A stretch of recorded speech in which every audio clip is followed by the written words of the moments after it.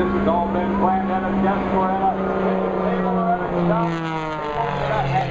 They are meant to flow and to create energy to get from one maneuver to the other and from one end of the stage to the other. Hop out the top of that spiral